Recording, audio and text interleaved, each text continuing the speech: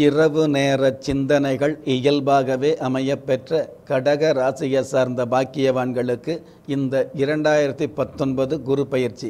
அதாவது பிகாரி வருடம் ஐப்பசி மாதம் பதினொன்றாம் தேதிக்கு ஆங்கில தேதி இருபத்தி ஒன்பது பத்து இரண்டாயிரத்தி பத்தொன்பது செவ்வாய்க்கிழமை அதிகாலை சரியாக மூன்று மணி நாற்பத்தி இரண்டு நிமிடத்தில் விருச்சிக ராசியிலிருந்து தனுசு ராசிக்கு பயிற்சியாகக்கூடிய இந்த குரு பயிற்சி கடக ராசிக்கு எந்த மாதிரியான வளர்ச்சியை கொடுக்கும் அப்படிங்கிற விஷயத்தை எடுத்துக்கிட்டோம் அப்படின்னா பொதுவாகவே கடக ராசி எப்பொழுதுமே நல்ல ராசியாக எப்பொழுதுமே பிரபல்யமான ராசியாக சாஸ்திரம் சொல்லியிருக்குது. it. அதாவதுக்கு களி காலத்துக்கு கடக ராசி சிறப்புள்ள ராசியாக சாஸ்திரம் சொல்லி வச்சிருந்தாலும் தற்பொழுது கடக ராசிக்கு மறைவு ஸ்தானமாகிய சத்துரு ஸ்தானமாகிய ருண ரோகஸ்தானமாகிய ஆறாம் இடத்துக்கு இந்த குரு பகவான் பயிற்சியாகிறார்.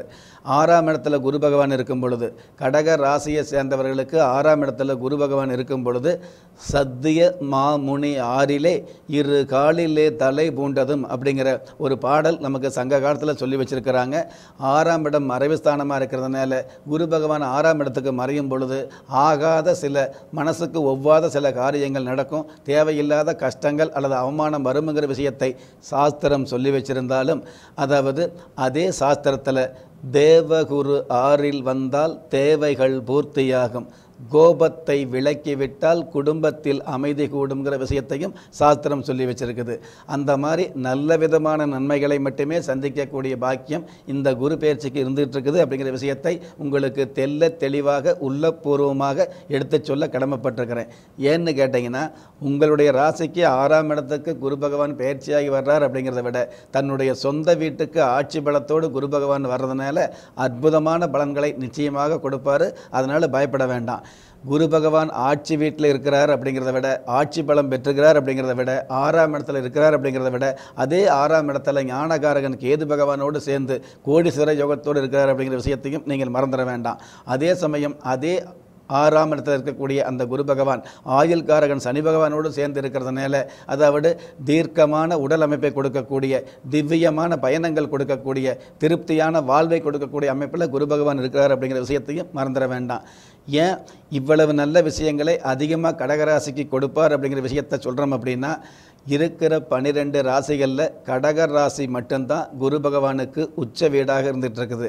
வேறு எந்த இடத்துல போனாலும் கிடைக்காத ஒரு உச்சம் இந்த கடக ராசியில் குரு பகவான் வரும்பொழுது கிடைக்குது அப்படிங்கிறதுனால அச்சமில்லாத நன்மைகளை ஆதாயத்தோடு கொடுப்பார் குரு பகவான். கொடுத்து தான் ஆகணுங்கிற விஷயத்தில் நீங்கள் உறுதியாகவே இருந்துகிட்ருக்கலாம். எந்த ஒரு பாடலை பற்றியும் எந்த ஒரு விஷயத்தை பற்றியும் கலவ கவலைப்பட வேண்டாங்க. ஆறில் குரு மறைஞ்சு அப்படிங்கிற மாதிரி. அதாவது ஆறாம் இடம் அப்படிங்கிறது மறைவு ஸ்தானமாக இருந்தால் கூட மன நிறைவு கொடுக்கக்கூடிய அமைப்போடு ஆட்சி பலத்தோடு குரு பகவான் பயிற்சியாக இருக்கார் அப்படிங்கிறத நீங்கள் மறந்துட வேண்டாம். அதே மாதிரி ஆறாம் இடத்தில் இருக்கக்கூடிய உங்களுடைய ஜென்ம ராசிக்கு ஆறாம் இடத்தில் இருக்கக்கூடிய குரு பகவான் தன்னுடைய ஐந்தாம் பார்வையாக ஜீவனஸ்தானத்தை பார்க்குறாரு. ஒரு ஆண்களுக்கு கௌரவம் கிடைக்கணும் அப்படின்னா ஆண்களுக்கு அழகு தொழில் சொல்லுவோம். அல்லது ஆண்களுக்கு அழகு உத்தியோகம் சொல்லுவோம். அந்த மாதிரி தொழிலாக இருந்தாலும் உத்தியோகமாக இருந்தாலும் அந்த தொழிலையும் உத்தியோகத்தையும் விருத்தியாக்கி காட்டக்கூடிய அமைப்பில் தான் குரு பகவானுடைய பார்வை இருந்துகிட்டு இருக்குது. நான் திரும்ப திரும்ப சொல்கிறேங்க குரு பகவான் தான் இருக்கிற இடத்தை விட பார்க்கிற இடத்திற்கு பலன்களை அதிகமாக கொடுப்பார் அப்படிங்கிறது உண்மையான விதி. அந்த வகையில் உங்களுடைய ஜென்ம ராசிக்கு ஆறாம் இடத்தில் இருக்கக்கூடிய இந்த குரு பகவான் ஐந்தாவது பார்வையாக உங்களுடைய ஜீவனஸ்தானத்தை பார்க்கறதுனால ஜீவனத்தில் நல்லதொரு ஆவணம் கிடைக்கும். கடந்த காலங்களில் ஒரே இடத்துல வேலைக்கு போக முடியலையே அல்லது நல்ல வேலை கிடைக்கலையே வேலை கிடைச்சாலும் அந்த வேலையில் தொடர முடியலையே ஒரு தொழில் ஆரம்பிக்க முடியலையே அல்லது தொழில் ஆரம்பித்து நடந்தாலும் அடுத்தவங்களுக்கு பார்க்கும்போது தொழில் நடக்கிற மாதிரி காட்டிக்கிட்டு இருக்கிறோம். நமக்கு நல்லது நடக்கலையே அப்படின்னு கவலை இருக்கும் இல்லையா? அந்த கவலைகளை எல்லாம் அடியோடு விலக்கி மிகப்பெரிய ஆதாயத்தையும் அனுகூலத்தையும் உத்தியோகத்திலையும் தொழில் ரீதியாகவும் குரு பகவான் கொடுப்பார். பயப்பட வேண்டாம். அதே சமயம் இந்த குரு பகவான் வந்து தன்னுடைய ஏழாவது பார்வை என்று சொல்லக்கூடிய சப்தம பார்வையாக அயன ஜயன போக பாக்கியஸ்தானத்தை பார்க்கறதுனால பழைய பொருட்களை மாற்றி புதிய புதிய பொருட்கள் வாங்கக்கூடியது. இருக்கிற வீட்டுக்கு மராமத்து வேலை செய்கிறது இருக்கிற வாகனத்தை மாற்றி புதிய வாகனம் வாங்குறது. அல்லது வாகனம் சம்பந்தப்பட்ட வகையில் இருக்கக்கூடிய கடன் தொல்லைகளிலிருந்து ஓரளவு விடுபட வைக்கிறது. இந்த மாதிரியான நல்ல காரியத்தை செய்வாங்க. சுருக்கமாக சொல்லப்போனால் நீங்கள் ஆட்டோ ஓட்டுநராக இருந்தாலும் சரி தொழிலாளியாக இருப்பாங்க இல்லையா? ஆட்டோ ஓட்டுதல் அல்லது வேன் சம்பந்தப்பட்ட விஷயங்களை ஓட்டுறது அல்லது சின்ன சின்ன வாகனங்களை வந்து இயக்கக்கூடிய அல்லது பெரிய கனரக வான வாகனங்களை இயக்கக்கூடிய டிரைவர் அல்லது ஓட்டுநர் துறையில் உள்ளவர்கள் சொந்த வாகனம் வாங்கக்கூடிய வாய்ப்பை இந்த ஆறாம் இடத்து குருவால் அற்புதமாக சந்திக்க முடியும். அந்த குரு பகவான் கோடீஸ்வர யோகத்தோடு ஆட்சி பலம் பெற்றிருக்கிறதுனால அதுவும் கடக ராசியில் உச்ச உச்சபலம் பெறக்கூடிய இந்த குரு பகவான் அச்சமில்லாத மேன்மைகளை நிச்சயமாகவே கொடுப்பாருங்க. நீண்ட நாளாகவே நம்ம தொழிலாளிங்கிறத விட முதலாளி ஆகணுங்கிற ஆசை இருக்கும் இல்லையா? அந்த முதலாளிங்கிற ஸ்தானத்தை வந்து இந்த குரு பயிற்சி நிச்சயமாகவே கொடுக்கும் கடக ராசிக்கு அதே சமயம் இந்த குரு பகவான் தன்னுடைய ஒன்பதாவது பார்வையாக உங்களுடைய ஜென்ம ராசிக்கு தன குடும்ப வாக்குஸ்தானத்தை பார்க்குறாரு. அப்போ தன பலம் அதிகரிக்கும் மனோபலமும் அதிகரிக்கும் வரவுகள் வந்து அதிகமாகிட்டு இருக்கும் வரவுக்கு மேலே நம்ம வந்து அதாவது சேமித்து வைக்கக்கூடிய எண்ணங்களும் இந்த வருஷத்தில் உதயமாகும். குடும்பத்தில் ஒற்றுமை அதிகரிக்கும். கணவன் மனைவி இருவருமே இருந்துகிட்டு இருப்பாங்க. இருவரும் ஒரே வீட்டில் இருந்தால் கூட ஒற்றுமை இல்லாத ஒரு சூழ்நிலையோடு இருந்துட்டு இருக்கக்கூடிய குடும்பங்கள் நிறைய இருந்துகிட்டு இருக்கும். அந்த மாதிரி ஒற்றுமை இல்லாமல் கவலைப்பட்ட ஊருக்காகவோ சொந்த பந்தங்களுக்காகவோ சமூகத்துக்காகவோ ஒற்றுமையாக இருக்கிற மாதிரி நடிச்சிக்கிட்டு இருக்கிற அந்த குடும்பங்களில் உண்மையான ஒற்றுமை ஒற்றுமையை இந்த குரு பயிற்சி நிச்சயமாகவே கொடுக்கும். சொன்ன சொல்ல காப்பாற்றக்கூடிய தகுதி சொன்ன நேரத்தில் வந்து வருமானத்தை பெருக்கி காட்டக்கூடிய தகுதி இருக்கிற ஏரியாவிலேயே வந்து நீங்கள் செய்கிற தொழிலில் முதன்மை அப்படிங்கிற ஸ்தானத்தை அடையக்கூடிய அமைப்பு.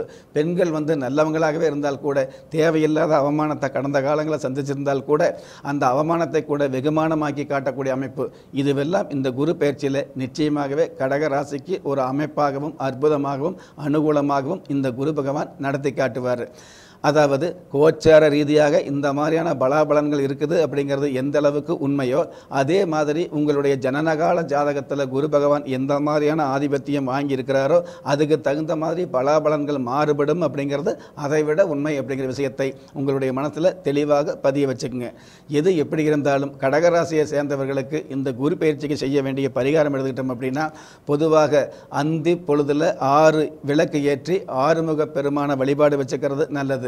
அதற்கு முன்னாடி முடிந்தால் ஆலங்குடையில் வீற்றிருக்கக்கூடிய ஆபத் சகாயேஸ்வரரை வந்து வழிபாடு வச்சுக்கிறது நல்லது. நம்ம அவ்வளவு தூரம் போக முடியாதுங்க. எனக்கு வயதாகிறது இல்லை உடல்நிலை சரியில்லை எனக்கு அவ்வளவு தூரம் போக முடியாது அல்லது வெளிநாட்டில் இருந்துட்டு இருக்கிறோம் நீங்கள் சொல்லக்கூடிய அந்த ஆலங்குடி குரு பகவானுடைய கோயிலுக்கு போக முடியலன்னு உள்ளவங்க வந்து கவலைப்பட வேண்டாம். இந்த மாதிரி அந்தி பொழுது என்று சொல்லக்கூடிய இறங்கு பொழுது என்று சொல்லக்கூடிய மாலை ஆறு மணிக்கு அந்த அந்தி பொழுதில் ஆறு விளக்கேற்றி ஆறுமுக வழிபாடு வச்சுக்கிட்டீங்க அப்படின்னா உங்களுடைய வாழ்க்கையில் ஏறுமுகம் காணக்கூடிய சூழ்நிலை நிச்சயமாகவே அமையும். அப்படி அமையணும் அப்படிங்கிறதுக்காக உங்களுடைய வம்சாவளி தெய்வமாக விளங்கக்கூடிய குல தெய்வத்தையும் கஷ்ட காலங்களை துஷ்டமாக்கக்கூடிய இஷ்ட தெய்வத்தையும் நானும் பிரார்த்தனை வச்சுக்கிறேன். கவலைப்பட வேண்டாம். நான் திரும்ப திரும்ப சொல்கிறேங்க நிகழ்ச்சியில் வந்து நான் சொல்லக்கூடிய அதாவது கோச்சாரப்படி கணித்து கொடுக்கப்பட்டுள்ள இந்த நற்பலன்கள் நிறைய பேருக்கு அப்படியே நடக்கும். கடந்த காலத்தில் அப்படியே நடந்ததுனால நிறைய பேர் பாராட்டு கொடுத்துருந்தீங்க. எண்ணிக்கையில் இல்லாத சொல்ல முடியாத அளவுக்கு பாராட்டு கொடுத்த நீங்களில் வந்து ஒரு சில பேர் என்ன சொன்னீங்க அப்படின்னா நீங்கள் சொன்ன அளவுக்கு எனக்கு நடக்கலையே. அப்போ ஜாதகம் உண்மையா சாஸ்திரம் உண்மையான்னு கேட்டிருந்தீங்க. அந்த பாக்கியவான்களை மதித்து இந்த நிகழ்ச்சியில் நான் சொல்லக்கூடிய விஷயம்.